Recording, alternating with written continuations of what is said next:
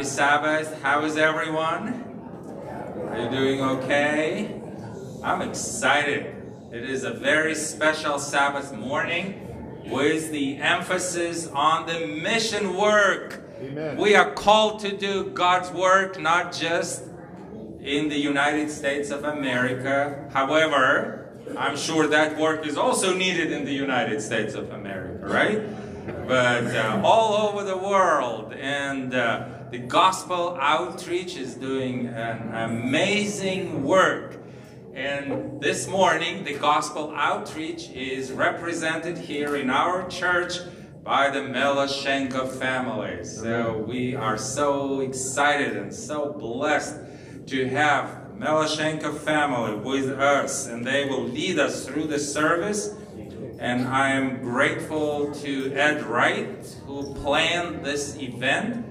And he was here with us the first service. He's possibly still with us in the lobby, but uh, uh, he is still very active in the ministry in this area and beyond. So we will have a very special service. As you see, they are ready to start singing.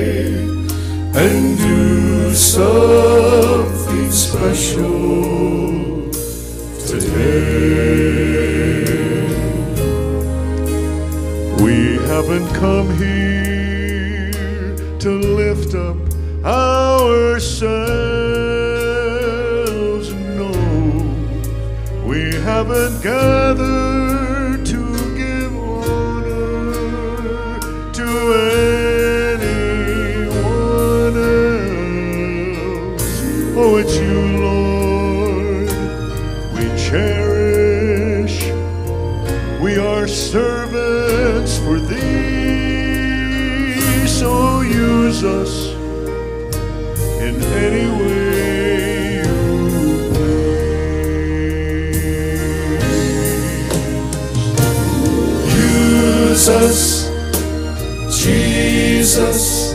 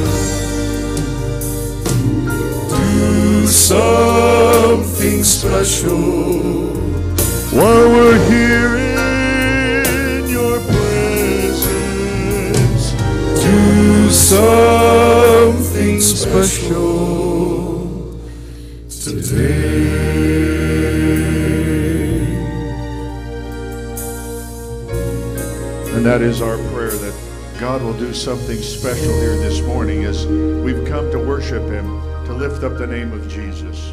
One of the things we love to do is to hear our people lifting their voice in praise. And it's now your turn to stand as we sing together our opening hymn. The lyrics are on the screen.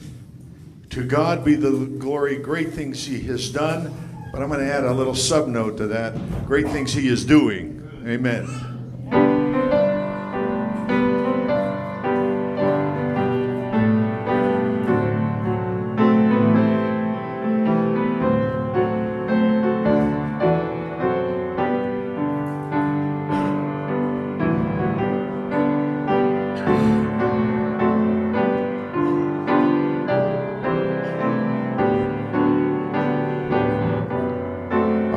Ooltewah Choir, let's do it.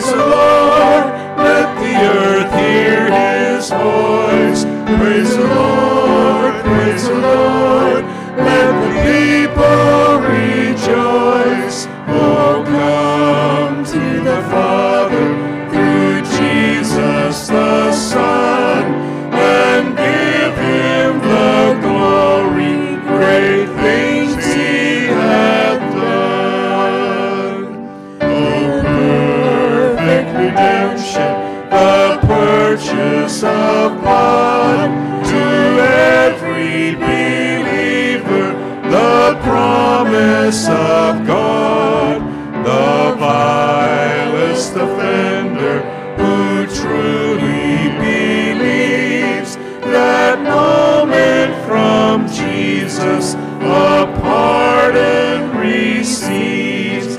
Praise the Lord, praise the Lord,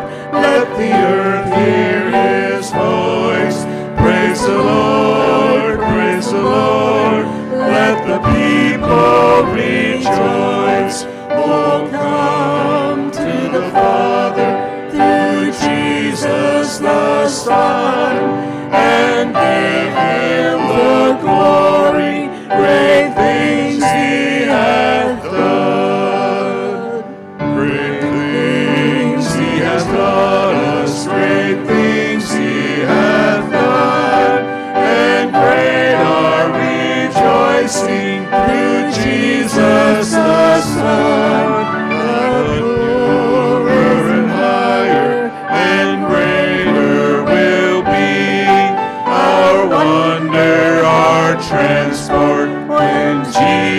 Jesus we see. Praise the Lord, praise the Lord, let the earth hear his voice. Praise the Lord, praise the Lord, let the people rejoice. Oh, come to the Father through Jesus the Son,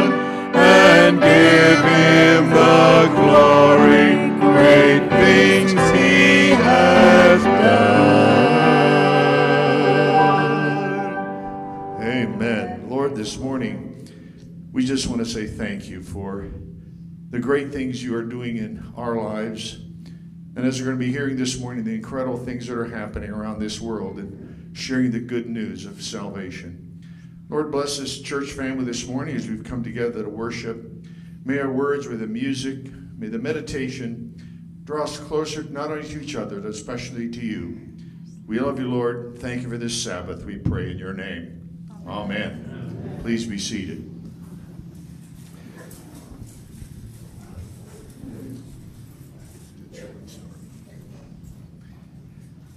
One of my favorite things to do in life is hang around with kids. My whole ministry was as a youth pastor and a youth director, and so even though I have a few years of water under the bridge, I still love our kids. And you know what term, time it is. You get to go and people can hold up those fives and tens and twenties and hundreds, and then you get to collect them and bring them right up here to the little box. So while the children are coming forward, and ask you to hold up that the offering for the children's ministry here in this church. And then when you get all the money in the box, come on and sit right over here with me on this step.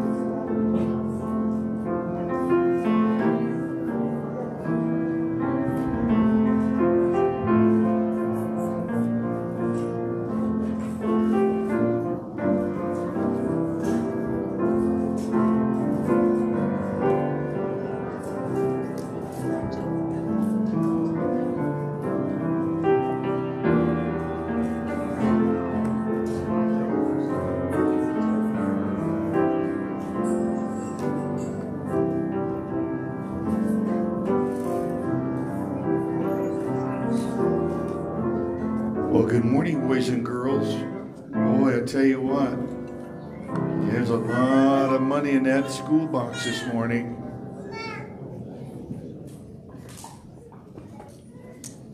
Well, there's some pictures that you're going to be able to look up here on the screen, and I want to tell you a story. now, this happens to be a map. Now, I know some of you are too young to even know what a map looks like, but this is a map of a country that's literally halfway around this world. Thousands of little islands make up the country of the Philippines. Now, I'm just wondering if there are any Filipino members of the Ooltewah Church. If there is, would you say Mabuhay? Okay, well, I guess I got shut out. First service, we had a few uh, Filipinos here. Well, in one of the little very remote islands, the boys and girls there did not know how to read, they didn't know how to write. And so the the chief of the village said, "We need to have some teachers come here to teach our kids how to read and write." Do you know how to read? You do? You know how to write? Oh, you must be really smart. How about you? Do you know how to read yet? Good for you. Well, these boys and girls didn't know how to do that. And so they built a little school. Now, you, this little school, you see it on the right side there, it has the flagpole made out of bamboo and thatched roof. And they had told the kids, hey, we're going to have school. You're going to learn how to read and write. Well, they had so many kids that showed up the first day of school, they had to put the younger children in the morning and the older children in the afternoon. Now, that's their desks. They get to sit on the dirt floor. But that's where they were learning how to read and write. They even found an old blackboard and they brought that in there. Well, they were not only learning how to read and write, but they're learning stories about Jesus and they're learning how to sing together. And they were having, these kids were having the best time of their life.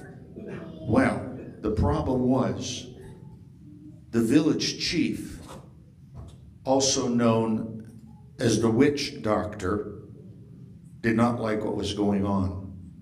They're learning too much about that Jesus stuff down there. We got to put an end to that. And so he said, No more school. Oh, the kids were so sad. And he said, We're not having any more school until we bring everybody in the village together and we're gonna and we're gonna let them know who's boss around here, which God we serve. Now you see, the village chief, he didn't know who Jesus was, but he worshiped other gods. And then he did something. Now, do you like gross stuff? Uh, some of the boys go, yeah, yeah, yeah. well, this is gross.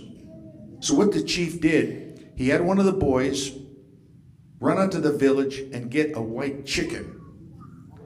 And now this is the part that's gross. He chopped the chicken's head off. And he took the chicken by the legs and he started throwing it around, blood spurting everywhere. And he's yelling and screaming and shouting for his gods to come because he was going to prove to those teachers and those boys and girls whose God was in charge. And what he did, he had in his hand, he had a goat's horn, two stones, and two pieces of metal. Now, this man young right here, do, do stones float? No. Does metal float? Nails? No.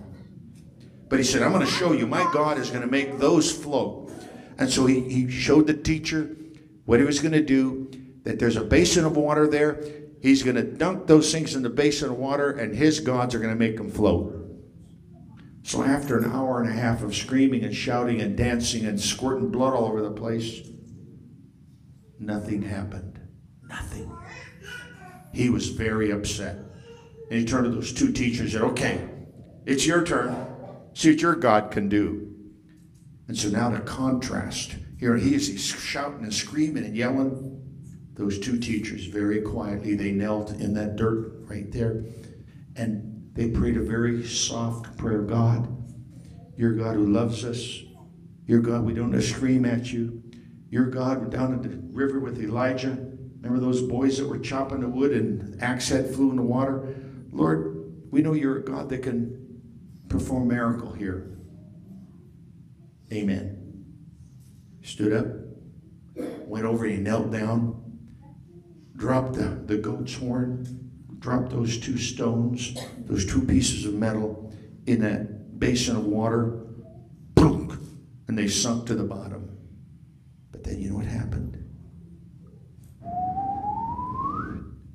They all came floating to the top. The village people looked, what? That's the God we want to serve. And so you know what happened? They all went down to the river, every one of them, and they were baptized. And now we have a, not only a school there, but we have a Seventh day Adventist church. Amen. Isn't that wonderful? Now, I got to tell you, we're still working on that witch doctor and his wife. They still haven't quite seen the light yet. But aren't you glad you serve a God that there's such a loving God that wants to show his love and mercy to people, even in these most, most remote parts of the world. Let's have a prayer. Lord, I just want to thank you for these boys and girls that are here this morning. Lord, they go to Sabbath school, they learn about Jesus. But most importantly, Lord, most importantly, Lord, they learn about how much you love us. And Lord, we want to lift up those kids there in that little island in the Philippines and that witch doctor and, and those teachers there and just continue to bless them. May they know more about your love and, and that you're coming soon. And we want to be ready for that. Lord, for these boys and girls here, bless every family, the parents, their grandparents, their brothers and sisters. Lord, we love you. Just bless us now in this Sabbath so as we continue together. And all the children up front said what?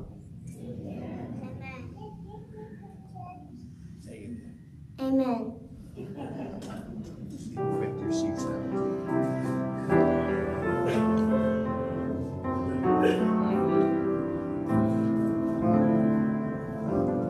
We believe. I need a microphone. All right. We believe in evangelism and the mission work all over the world and of course in our own area in Georgia and Eastern Tennessee. So today the offering is specifically for Georgia Cumberland Conference evangelism. So deacons, please come forward and we will say a prayer Our Heavenly Father, we're grateful that your word is being preached all over the world, including our own area here in Chattanooga, Collegedale, Ooltewah, and beyond. Lord, there are so many needs and so many people that still need to know that Jesus is coming soon. Yes. Bless our donations this morning. In the name of Jesus, we pray. Amen.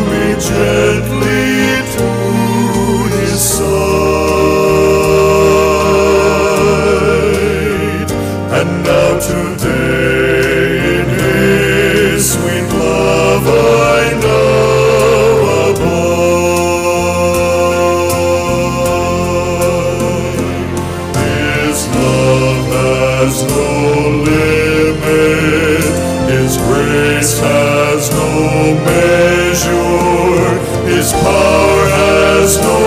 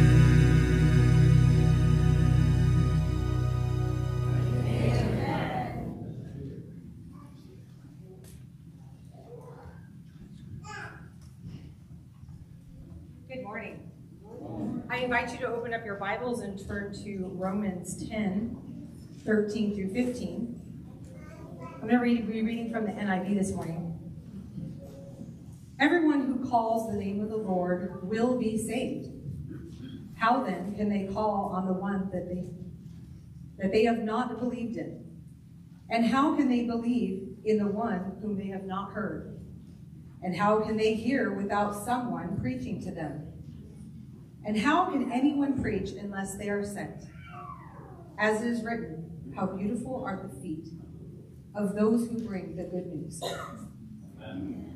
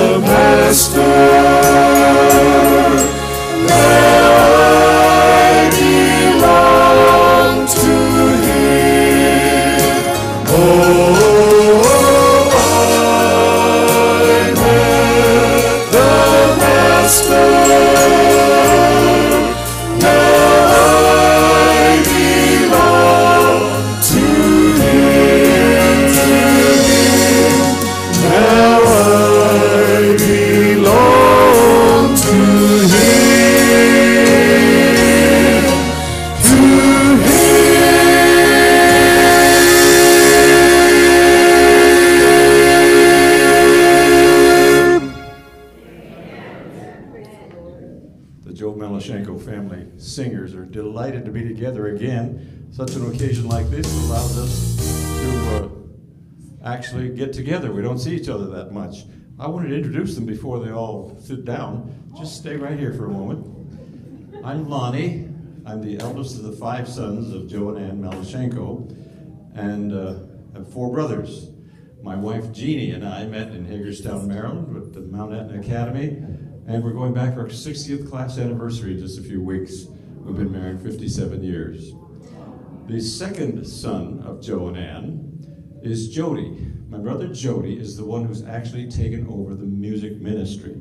Dad and mom passed away several years ago, and I'm so proud of what Jody has continued to do to keep the brothers together, bring them from different parts of the planet. We've traveled to different continents. We've been to Australia and we've been to New Zealand and uh, overseas, Russia, Ukraine.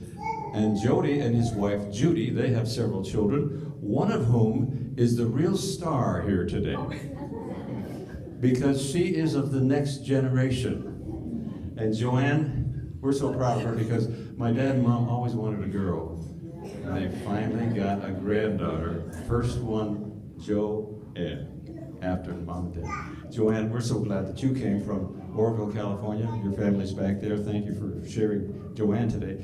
Dallas is the middle brother. He's teaching school in Little Mission Place way up south of the Canadian border in Washington State with his wife.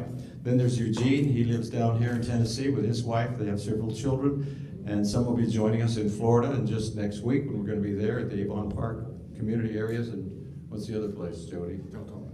Deltona. If you have friends that are going to be down there, we'll be there next weekend. Uh, Rudy is the youngest of the tribe of Joseph. They always said I was spoiled, and you should have seen those hand-me-downs after they came through Four Brothers.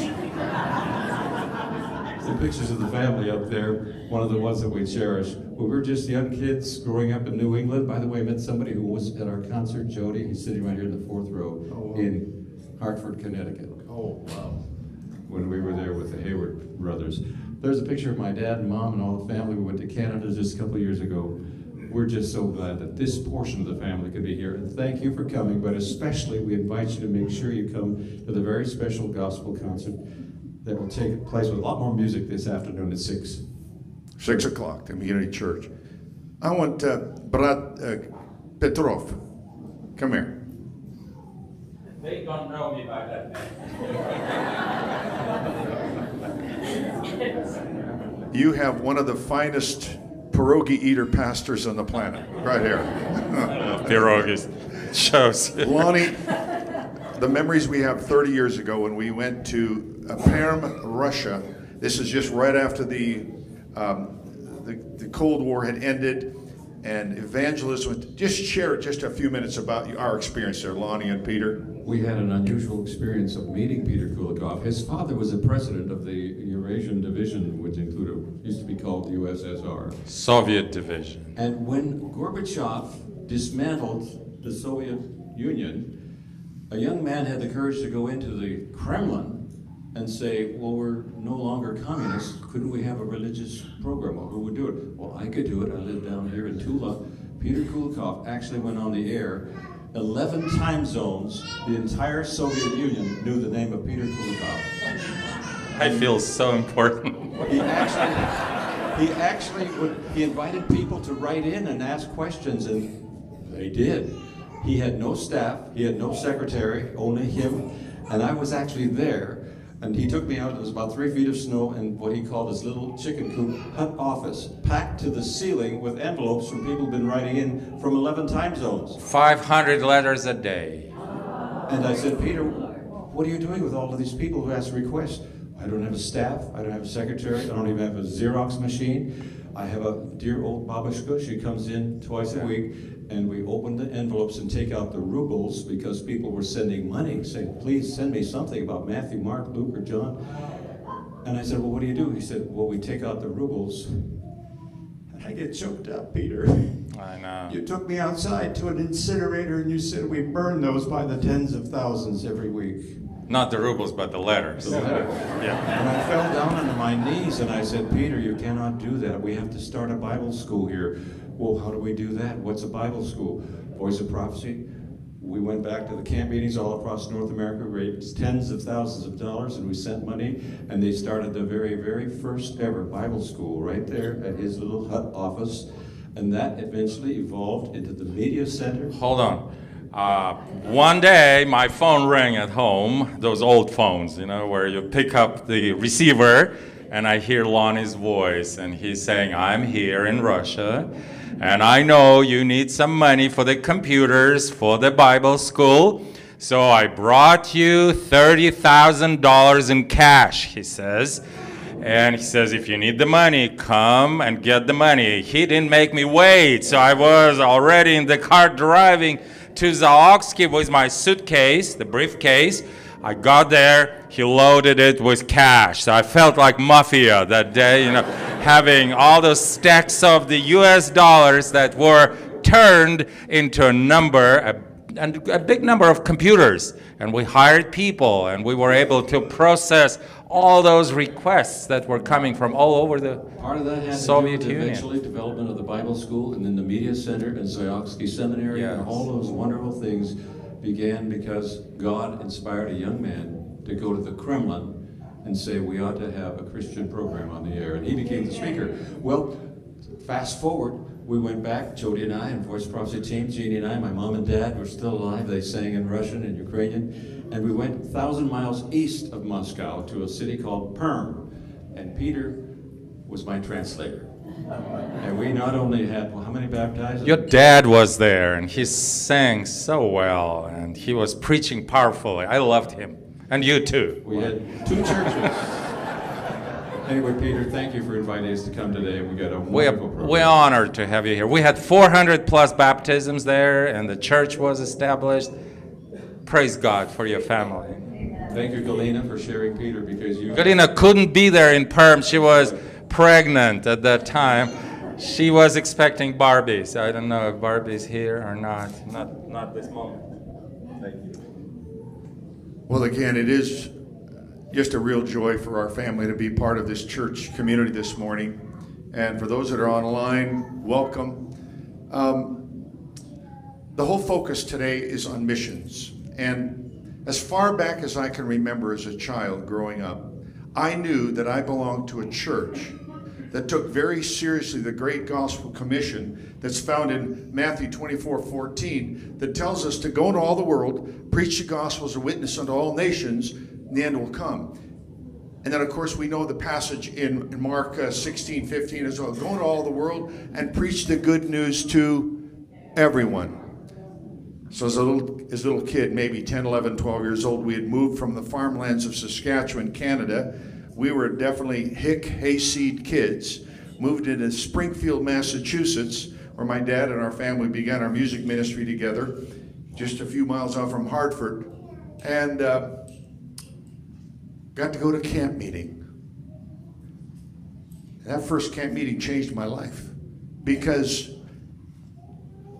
now they knew that they knew the secret to getting the kids back to the evening meeting.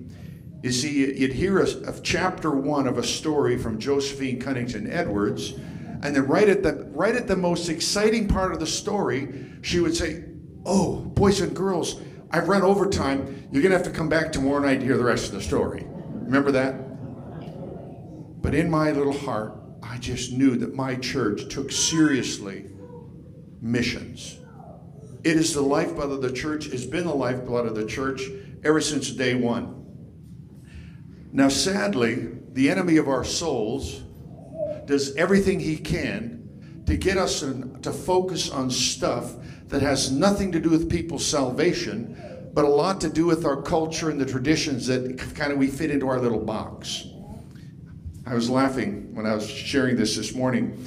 Um, most of my career was in youth ministries, and a youth pastor friend and I were together having breakfast, and he, he said, Jody, I'm, I'm not looking forward to our church business meeting tonight. It's going to be a shootout. I said, Really? Tell me what's going on. He said, Well, you see, we are going through one of the most cursed events on the planet. We're going through a church remodel. Now, I will stay off of that one because I, anyway. And he said, You see, this half of the church, they want blue carpeting. And this half over here wants green carpeting. And the blue carpet people have given more money than the green carpet people. But our interior designer says it needs to be brown, you know, so that kind of. I thought, oh boy, there we go again. So I told Jim, my friend, I said, you know, somebody shared a motto with me that I have carried with me in all of my ministry, in my family, everything I do, I've adopted this motto. And you might want to write it down because it's fairly it's fairly simple, but it goes like this. The main thing is that the main thing is the main thing. Are you with me? So the question needs to be asked as a church, what's the main thing? Why are we here? I just read it. And, um, but part of that Great Gospel Commission tells us that we need to go into all parts of the world, and that's the head scratcher. Lord, all the world? There's some places on this planet you and I can't get there from here. And if we did, we wouldn't last more than two minutes as a Westerner. And so,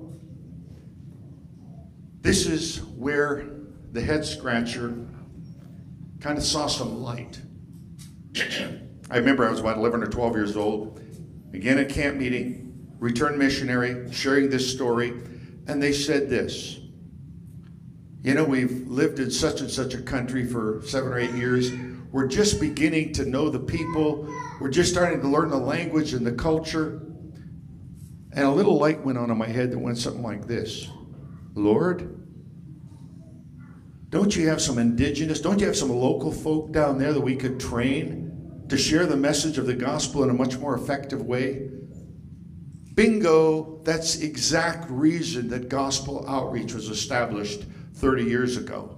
And you're going to hear a lot about gospel outreach today.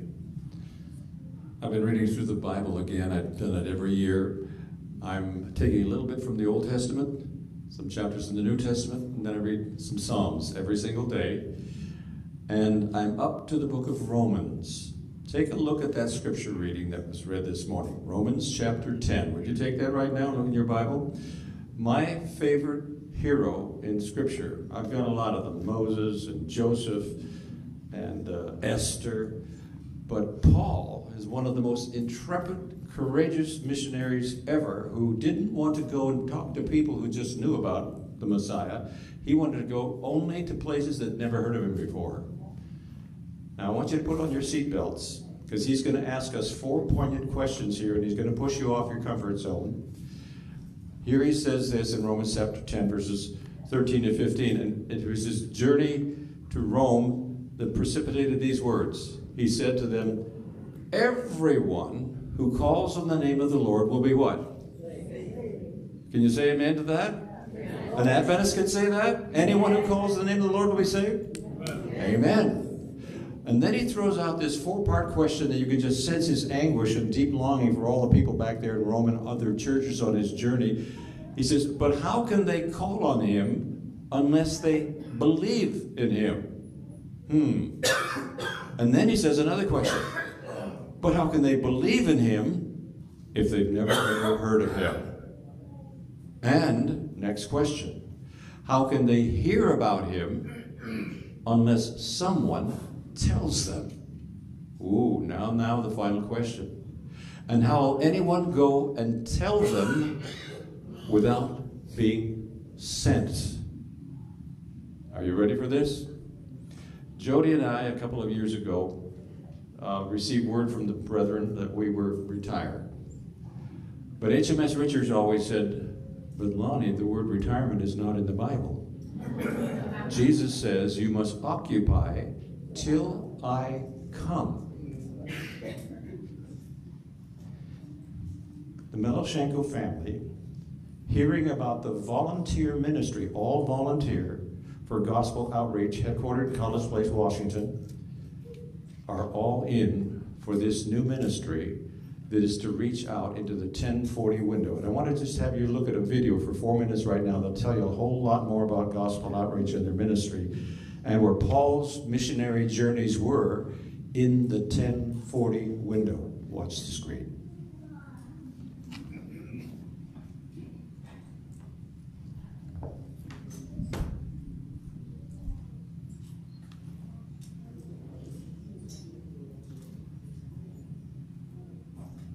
Shall be preached in all the world as a witness unto all nations, and then shall the end come.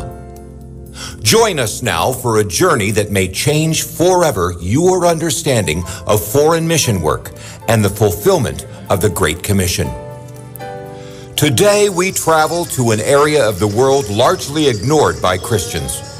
Known as the 1040 window, it's located between 10 and 40 degrees north latitude in the Eastern Hemisphere. It stretches from North Africa toward the rising sun, across the Middle East, India, China, and southward to catch Thailand and the Philippine Islands. All told, nearly 70 countries lie within this window. The area accounts for one third of the world's landmass, yet more than 5 billion people live here. That's two thirds of the world's population. Poverty, hunger, illness, illiteracy, oppression, idol worship, fear, and hopelessness are ways of life for many. Dominant religions include Islam, Hinduism, and Buddhism. Worldwide, an estimated 3.2 billion people have yet to hear the gospel. If you were to guess what percentage of these unreached people live in the 1040 window, what would you say? 40%? 60%? 80%? Actually, the stunning answer is 97%. Virtually all of the world's unreached people live in the 1040 window. We've shared the gospel close to home, but have left one final frontier for evangelism. Millions of people in the 1040 window haven't, even once, had a chance to hear the gospel. Despite the great need in the 1040 window, less than 2% of Christian mission giving goes here. There is enough evangelism taking place today to reach the world dozens of times. Unfortunately, most of it is happening among people who have already heard the gospel. In all candor and to our continuing shame, let us admit that the world's perishing unreached people are very seldom mentioned or thought about in almost all churches. Gospel Outreach was founded in 1993 to help introduce people to Jesus in the 1040 window. The all volunteer staff works closely with the church. The goal raise funds to support indigenous evangelists and Bible workers. These workers are hired and trained by local church conferences. Through the Gospel Outreach Adopt a Worker program, a worker can be sponsored for 150 US dollars monthly. Compared to foreign missionaries coming into a country, indigenous workers have many advantages. They already know the culture, the religion, the language, the traditions, and the people. Gospel outreach is the heartbeat of the South Asia Division. Hundreds of thousands of people have given their hearts to Jesus and chosen to be baptized as a result of gospel outreach sponsored workers. Not only are these Bible workers effective, they are also efficient. On average, very few dollars invested in their work results in a decision for Jesus that leads to baptism. In the 1040 window, millions and millions of honest hearted people are searching. They need hope. They need the Savior. Yet they have never had the chance to hear the story of Jesus. Today, it's up to us to make a difference. We must help hasten the Lord's return. We believe. Let's act. Amen. And all the people said, Amen. It's an amazing ministry that is doing an, a wonderful, wonderful work. But you know, I'm a simple kind of a guy. You know, make it plain to me. And when I saw this video first time a few years ago, it struck me. 97% of the people that I have not heard about Jesus live in the 1040 window. That means we've done a really good job in the rest of the world. I wish I could stand in front of Brother Ted Wilson and every conference and union president, every evangelist, and every pastor here in North America and tell them very plainly for every dollar we spend in evangelism here, we need to spend at least twice that amount in the 1040 window because that's where the harvest is plentiful, but the laborers are few. Are you with me? And the things that are happening over there right now are just really, really thrilling. Um, as you saw, Gospel Outreach started in 1993, 30 years ago. And they had just a handful of Bible workers that they sent to the Philippines. Today, I am just so thrilled to tell you that in the 1040 window, and by the way, the 1040 window, is that a new concept to some of you? I, I know it's a term we've kind of thrown around for a while. 10 degrees north latitude to 40 degrees north latitude in the eastern hemisphere. Um, that's where the work is being uh, focused for gospel outreach. We have no uh, Bible workers any other region of the world. Um, anyway, 2,300 Bible workers in 52 of the 70 countries. It's just a thrilling thing to see. And this is typical of the Bible workers. They meet people on the streets in little town square. Many of them will hike for miles and miles and go up to a very simple little hut in a little village, they share the story of Jesus. And many of the Bible workers have been trained to use stories, and I think that's probably one of the reasons why the Lord used parables so often. But they use stories, biblical stories, to to to share the truths of the gospel with the people that that you know need a simple way of understanding Jesus. Many of them have been trained in health ministries, and many of them become the only health educator, the only physician, quotes, nurse, whatever, in a village. And so they become very, very involved in the lives of the people in these villages in helping them with their health and, and diet and so forth. Some of the areas that our Bible workers have been assigned is to some of the refugee camps. And if you want to go into an area that shows destitu destitution in a very radical way, that's, that's an amazing assignment. Their baptistry in most of their villages looks something like this. Uh, whether it's a lake, a stream, a river, a dirty pond, whatever it might be, that's where baptisms take place. Now, I hope you picked up in that video that one of the most effective ways that Gospel Outreach Bible workers, the reason they're so effective, they already know the language, they know the culture, they know the traditions, they know the religion, they know the people, and so they're miles ahead of a Westerner coming into a community trying to, you know, start from scratch. We don't know the exact number because in some of these areas, you just can't declare yourself a Christian or an Adventist because you would be, you'd disappear.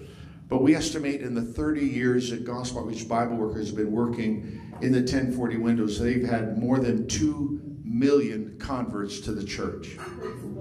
It's an amazing experience. And I got to tell you about a friend of mine who we worked with for a number of years. My wife and I uh, led out in a youth and young adult ministry uh, missions project with, with Quiet Hour for many years. And Bill and Jackie Tucker, the director speaker, are dear friends of ours. And even after Bill retired, he still goes back to the Philippines to do evangelism. That's where he grew up as a kid. He went to academy there. He has a real connection with the Filipino people. And so he went down to the very difficult region of the Philippines, in the southern Philippines, known as Mindanao. And Mindanao is a high concentration of, of Muslims.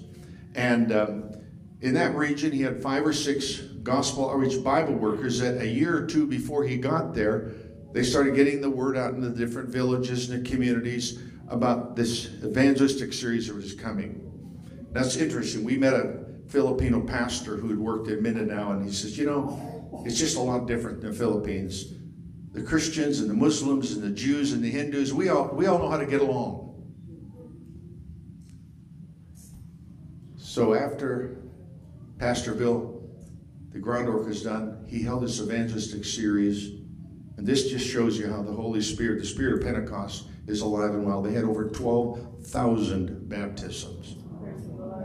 That's what's happening. Can you imagine if in the uh, Georgia Cumberland or Kentucky Tennessee conference, some evangelism came in, evangelists came in and had a thousand baptisms?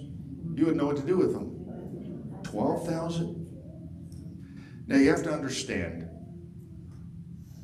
our family is we have evangelism to the core. My dad was an evangelist. Uh, some folk here came up to us and said, Yeah, we met your dad and mom back in such and such a community. And my dad's heart was in evangelism, but I can remember many times he'd come back from a series of meetings and and he'd have this real concerned look on his face. He said, Jody, you know, up here in such such a place in Michigan, they spent they spent hundred thousand dollars on this evangelistic series, and we had 18 baptisms. He said, I, I don't know, I just feel guilty that I'm spending the Lord's money. That how can we be more effective? Basically was his question. Well, I didn't know about gospel outreach then, but I wish I did. Pastor Bill, when he was down there in Mindanao and they published in Quiet Hour magazine, you know, 12,000 baptisms. Pastor Bill said, you know, says it's like this. Yeah, Quiet Hour got the credit, but it was those gospel outreach Bible workers did all the work. And he said, I'm reminded of a, of a, a story that, uh, a legend of two buffaloes that are working out in the field, plowing all day long, working, tilling the soil, getting it ready for planting. And then right at the end of the day, two little birds come and they jump in the back of one of each one of those and they, they announce to the world, we are plowing. We are, you get the point, don't you? Well, I want to share a picture right now of a group of the Gospel Outreach Bible workers that met a few months ago in India at our church headquarters, several hundred of them.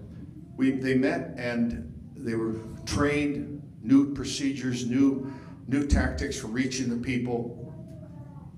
From that group, the story emerged that is going to thrill your heart.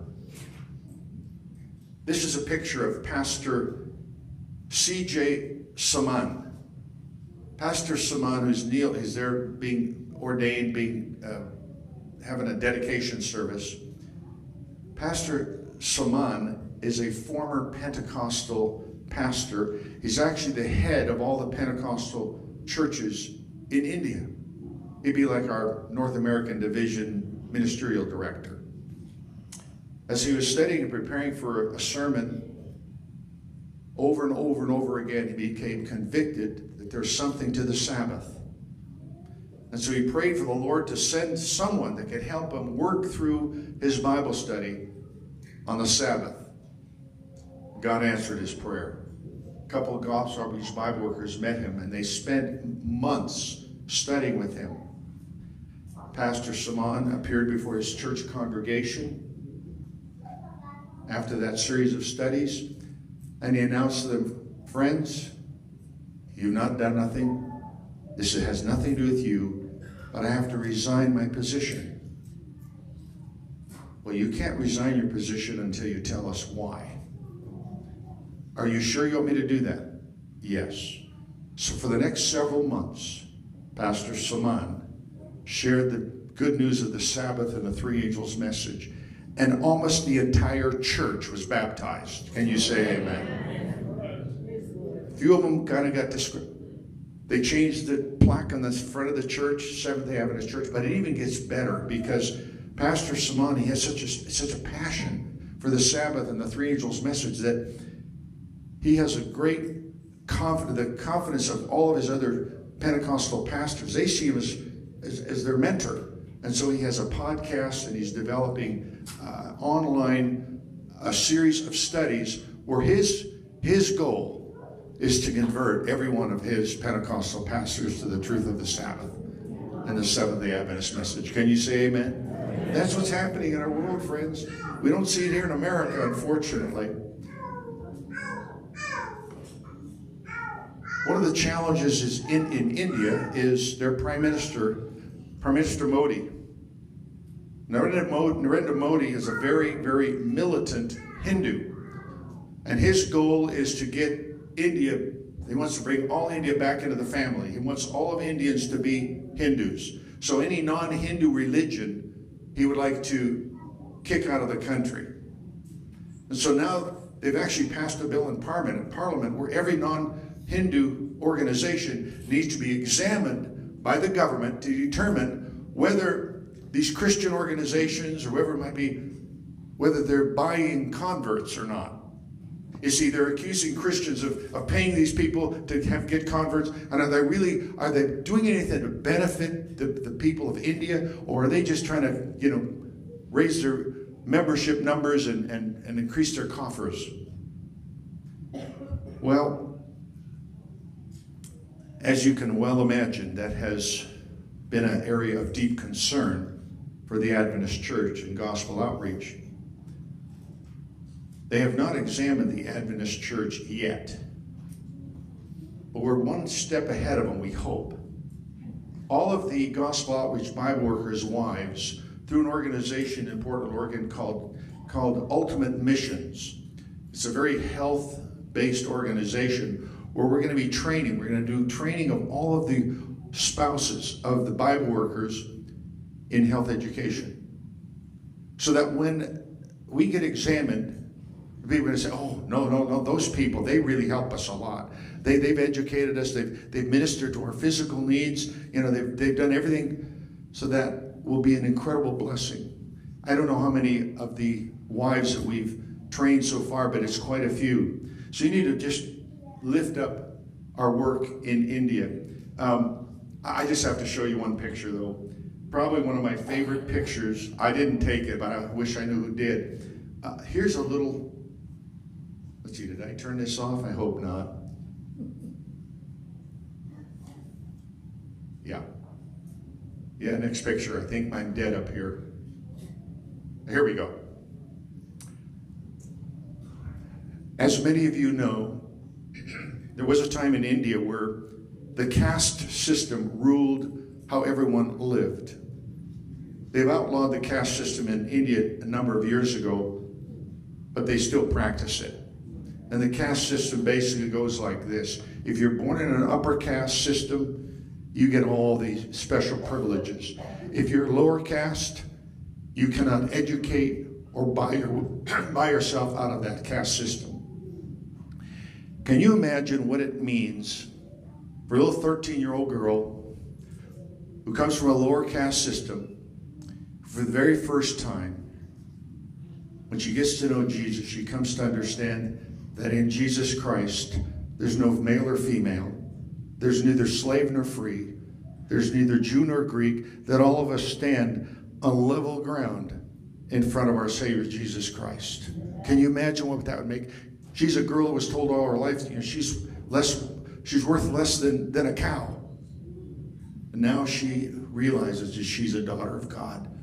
Beautiful, beautiful girl. She's very involved in her local church now, teaching other children about Jesus. Now,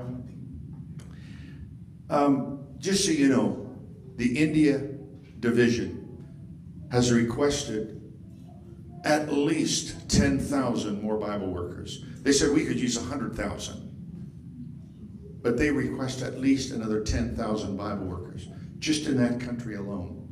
Because the work is so incredibly, uh, just what's happening is wonderful. Um,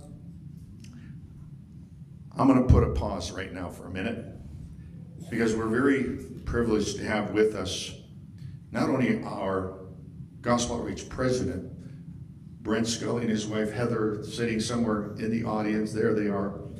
But we also have a, the people in the blue shirts that you see around. Those are Gospel Outreach volunteers. We have a very effective television and media ministry through Gospel Outreach. And let's face it, that's the new technology and that's where we need to be. Aaron and Lexi Rittenauer are part of that crew that put together our media productions.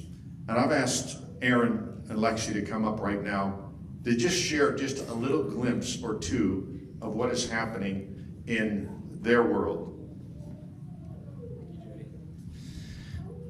We are so privileged and blessed to be involved with this organization. You know, Jody, these stories that you're telling us, we've firsthand gotten to experience these things. We have seen how the Lord is working through our gospel outreach workers throughout the world. And it's just been an honor to be able to see that. And we have a video that we'd like to show you. We actually just returned from a three month trip overseas visiting six countries filming season two of this television show that we're filming called Destination 1040. And um, we visited six countries and we were on 31 flights in three months. So a lot of work. We're very tired. uh, but we want to show you this video. And uh, why don't you go ahead and invite people to. Go ahead. Um, we just wanted to mention tonight we're going to be sharing more in depth of our trip, what we do, um, and that will be tonight at the Collegedale Community Church at 6 p.m. Um, we're actually going to be sharing stories from the Philippines, from an island, a war-torn island off the coast of Mindanao. Um, it's a really exciting story. Um, we're really excited to share it with you guys, but here's this video. Yeah, you can go for a little walk this afternoon and then come, come join us. My name's Aaron.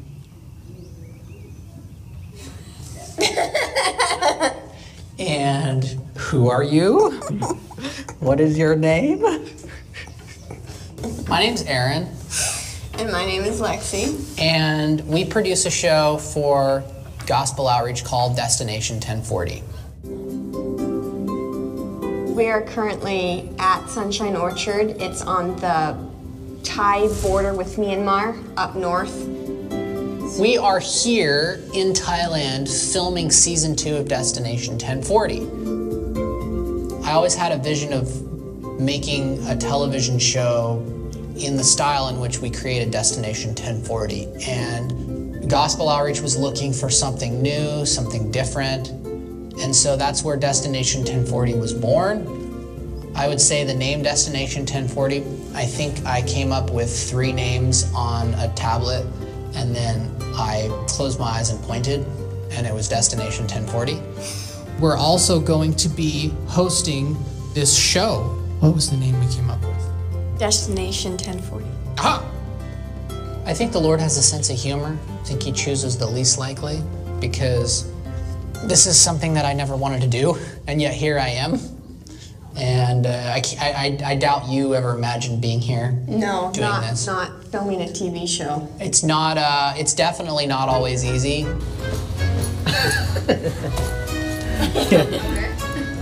uh, trying to get the bag under the bed.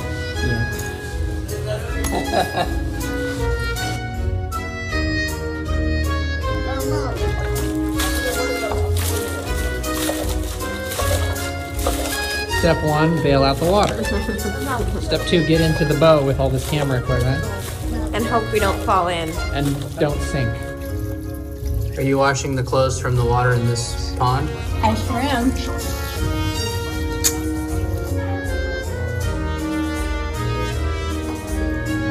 I'm gonna tear these pants open. Okay. I'm almost at the top. How many do you do before you put them down? Uh, for how much you can catch in your hand. Tell me about how hot it is. It's just a tad warm. And this is the cooler time of year here. Yes, this is winter, apparently. What's happening, lady? I'm not 100% sure. You don't have to lay now. I don't know exactly where we're headed.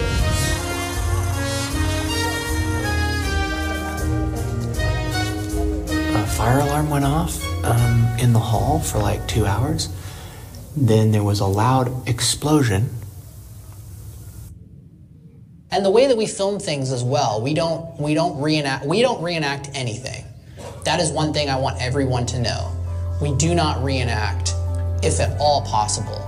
We never reenact church services. If you see a church service, it's really happening. If you see a Bible study, it's really happening. We're not doing a mock Bible study just to film.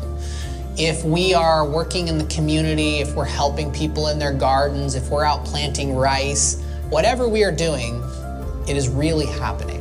And because of that, we are constantly filming. We look like some vloggers that just film everything, which is very uncomfortable sometimes.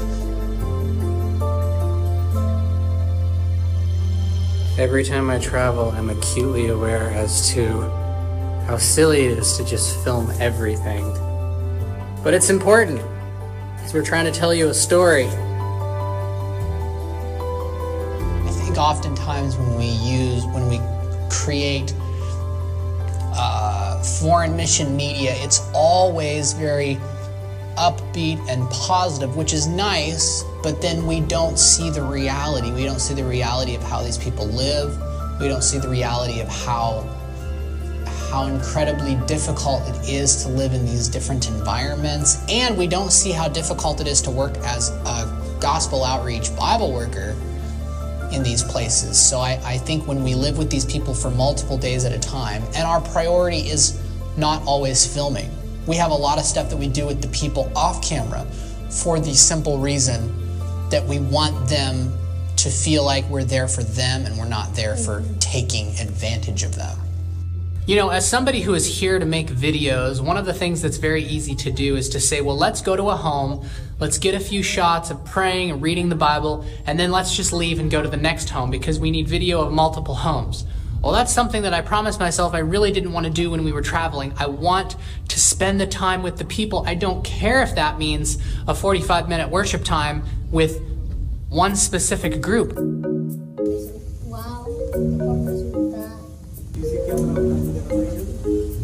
Everybody always gathers around curiosity when they plays the drum.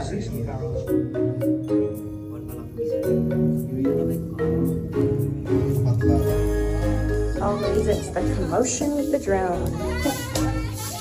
Picture, picture! Yes, guy!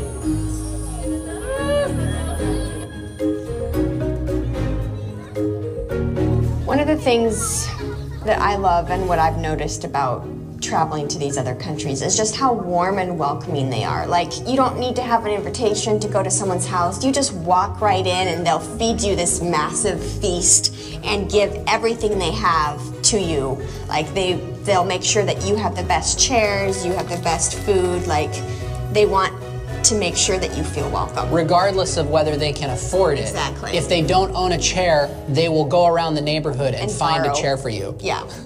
They are very gracious to us. We have a, a bowl of chilies. We've been up to. Well, they fitted me with a sorry. There's a lot of things that we could learn from the people that we meet while we're traveling. Despite the living situations that these people are in, they are so happy, they're so grateful to have what they do have. Traveling to these different places and seeing how the Lord is working within the lives of our sponsored Bible workers and also seeing how the Lord is working through them to reach people in remote places, in villages, people who, some people who have never really even heard the name of Jesus, people who don't have even the slightest concept of who Jesus is. I think it's definitely helped to grow our faith.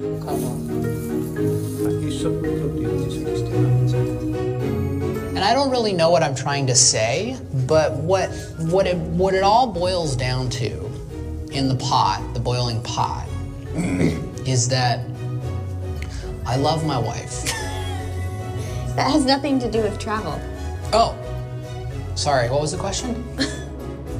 if you are watching this video and you have yet to see Destination 1040, I want to encourage you to go and watch season one.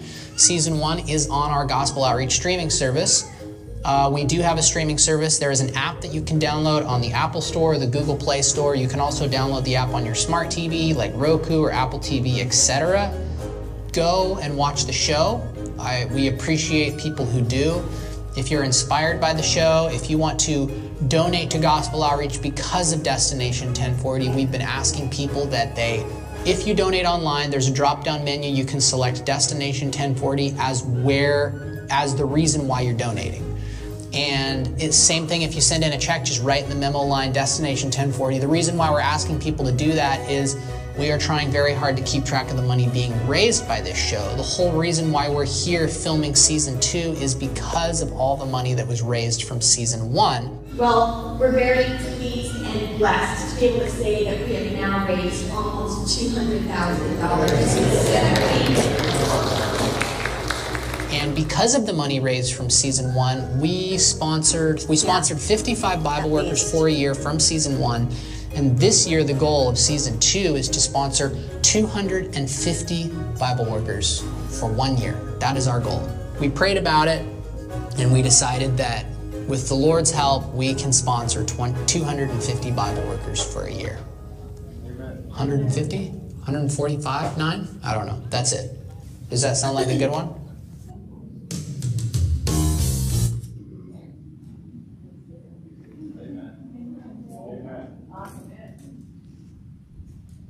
Doesn't it just thrill your heart when you see a young couple that has dedicated their talents and their time to do something so adventurous? You see, it's it's cool to be adventurous for Jesus, and um, just want to thank Lexi and Aaron for that. Well, we are we are going to have to really wrap things up quickly here. Um, I want to show you a picture of the all volunteer staff in College Place, Washington. Uh, they all share something in common. Can you tell? Somebody said they're geezers just like you. these are former, these are conference presidents, teachers, hospital administrators, you name it, who have all come to realize God has called us to keep our shoulder to the plow. And these people are keeping their shoulder to the plow. Because it's an all volunteer organization, now, this is going to surprise many of you. They're able to do their administrative costs are about 5%. So 95% of every dollar given to gospel outreach goes to one of those Bible workers in the 1040 window. I'm proud to tell you, and I'm just thrilled to know that there's over 2,000 self-supporting ministries in the Adventist Church, and they're all doing an incredible work. I, I mean, if you support them, right on. But I don't know any of them that can make this kind of a claim that they're able to function on a 5% administrative basis. So that being said, the, the cost of $150 per month per Bible worker, the 2,300 Bible workers we have out there are sponsored by people just like you and me. Person says, yeah, I, I can give $10 a month. I can commit $20 a month or 50 or 100. We have a few folk that have, that have given sizable chunks of money to gospel outreach. And I, am not here to, to pat myself on the back, but when our family decided, you know, we're going to just dedicate our ministry to something that is going to make a difference in this world, we did a um, we did a rally at the Loma Linda University Church last year, and after the rally, we got a call from a family that said, you know, our family's been putting aside money for years for a mission project, but we just didn't want to pay somebody's salary. We wanted it to go knowing that it was going to go directly to benefit the workers in a, in a mission field. And the next few days, Gospel Outreach Office received more than $80,000 from this family as they just realized this is something they want to do. Now, that doesn't happen every day, but that's the kind of thing that, that God is doing in the hearts of people, knowing the time is short. Folk look around us. Look how crazy things have gotten in such a short period of time. So our family, we are committed to gospel outreach. But I want to just, I want to take just a second to share with you a quote. God's faithful people have always been aggressive missionaries, consecrating their re, I got here, resources to the honor of His name, and wisely using their talents in His service. What a great text! And of course, we shared this a minute ago. The harvest is plenty, and the laborers are few. Pray the Lord of the harvest to send out laborers into his harvest. There are literally thousands of gospel outreach Bible workers that are ready to go to the field. They just need a little financial help. 75% of all the baptisms in the South Asia, South Asia division, that's the Philippines, Indonesia, no, maybe it's not the Philippines, Indonesia, Vietnam, that region. 75% of all the baptisms are a direct result of gospel outreach Bible workers. Now, part of the sad part of the equation, well, maybe it's not. We, want we like it the way it is, but gospel outreach gets no money from the organized church. We don't get funds from the GC or the divisions or the unions. It's truly a faith-based, self-supporting ministry. And um, I want to close this morning by just sharing with you an incredible story. How Gospel Outreach Bible workers, especially now, you need to understand, there's some of the countries in the 1040 window that our gospel outreach Bible workers, if they would declare they're part of a Christian organization, they would be they would disappear. In fact, I want you to put on your prayer list. I don't know the name of the worker, but in the country of Iraq, we have one of our Bible workers have been arrested for the third time for sharing the gospel, and she is uh, scheduled to be executed. Um, we've had prayer warriors all over the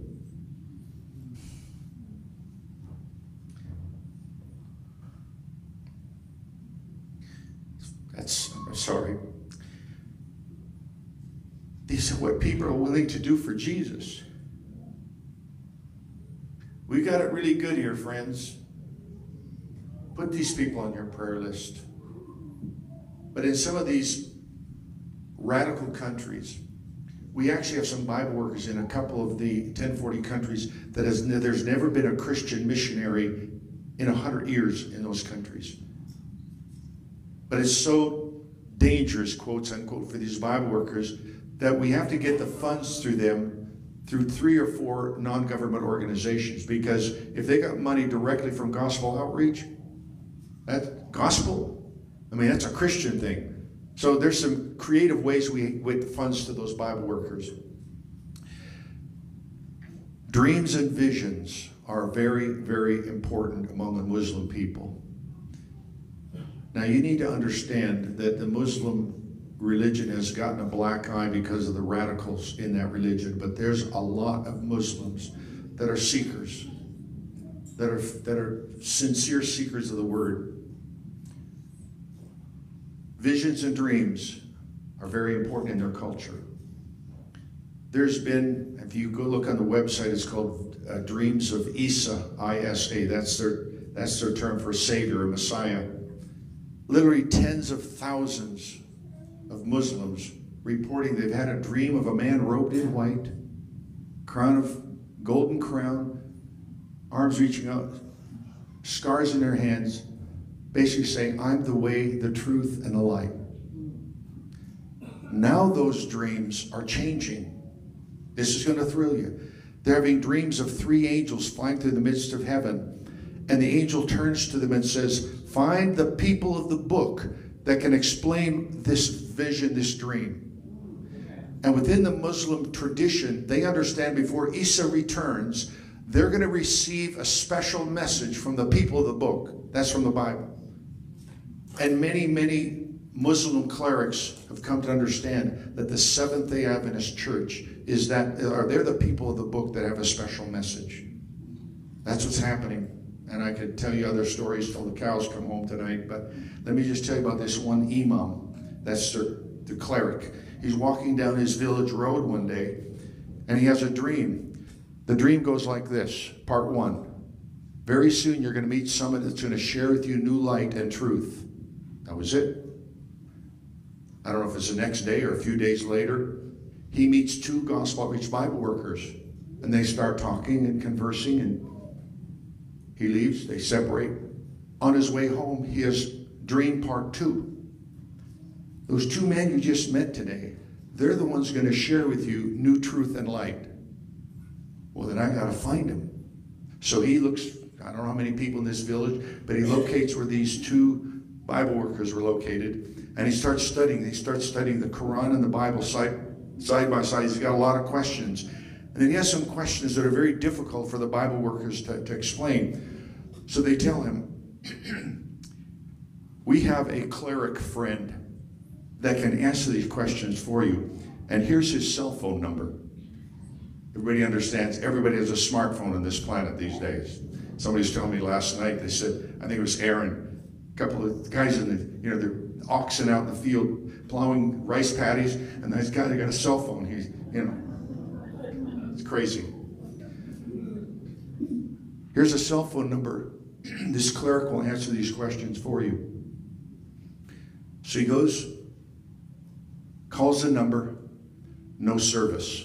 Now, this is going to thrill your heart. So he's walking home. Vision number three go out of the south gate of the city up the hill, climb that cypress tree, and sit on the first branch, and you'll get a cell signal. Now, friends, there are dreams, and then there are dreams.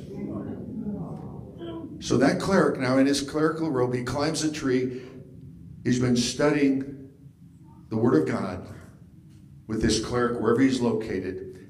And in that little village now they have a Seventh day Adventist Muslim home church.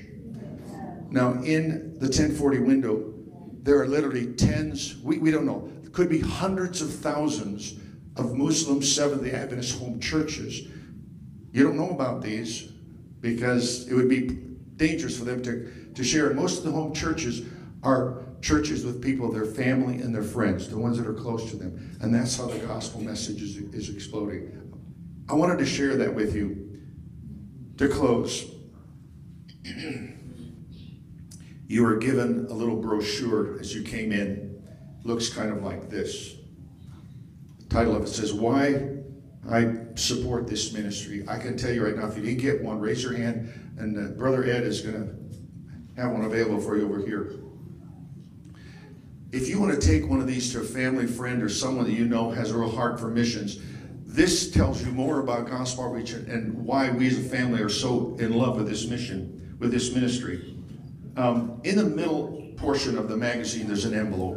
And in that envelope is an option. There's three ways that you can make a donation this morning. And we're asking for you to consider how you can support gospel outreach. I will just tell you this right now. Most of those 2,300 Bible workers that we have are sponsored by people who say, you know, I can afford $20 a month or $50 a month or whatever it is. The budget last year was nearly $4 million, and all that money came in from people just like you and me. And uh, so there's a QR code there. If you want to click that on your phone, it'll take you directly to Gospel Outreach's website. There's a place where you can set up you know, regular giving. I just to share this with you that Gospel Outreach bases its budget pretty much on people's monthly monthly donations, the commitment they make on a monthly basis. Yes, the one-time donations are great, but I'm speaking out of school here maybe. But if you say, you know what, I can give $200 today, why don't you make it $20 a month for whoever? And now they can base their budget on that. Our family, we are in love with this ministry. And in just a few minutes, we'll be taking up an offering. And I have something here in my pocket. You're the second group to ever see this. How many of you have a CD player in your car? I should say, how many of you don't have a CD player in your car anymore? Most of you. My daughter told me the other day, she says, Dad, I haven't played a CD for 10 years. So I know I'm really old school. So the fact is, our family, we don't have many of our CDs left anymore. We just don't sell them, but we've done something cutting edge. In my hand here, I hold a little credit card size, little plastic thing that has a USB right here. You can put in your car or your stereo, or, I mean your, your computer, whatever at home.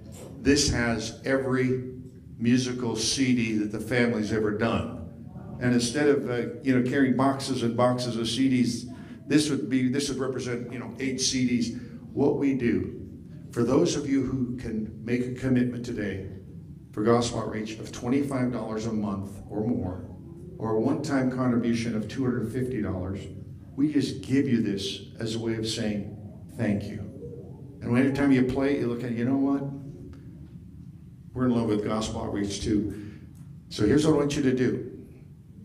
That envelope, if you make a commitment that will qualify for this little thank you gift, my wife and I will be at the table in the back. You come and hand us the envelope, and you get the little carrot right here, the little thank you gift.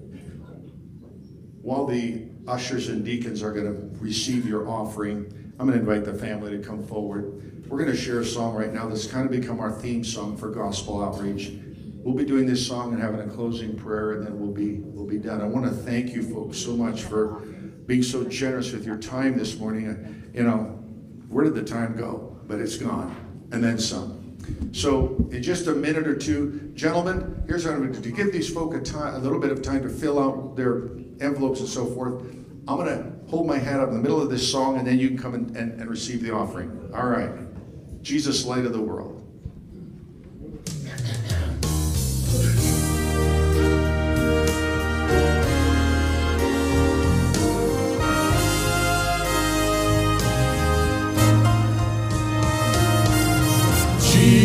sun.